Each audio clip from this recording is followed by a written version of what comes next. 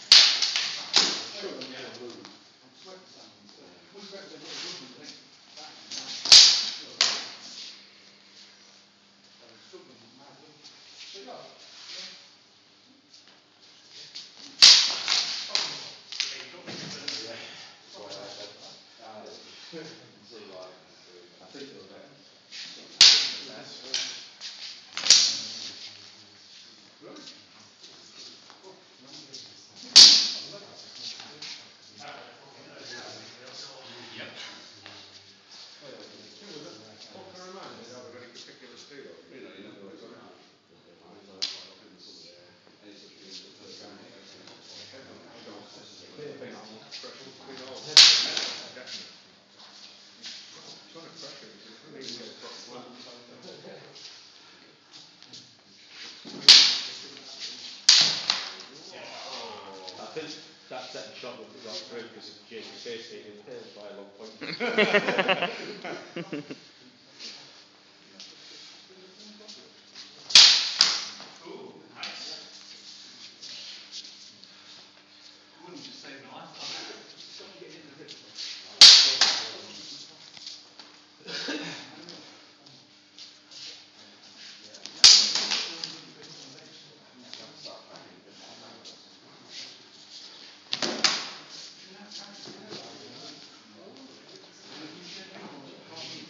Ten seconds.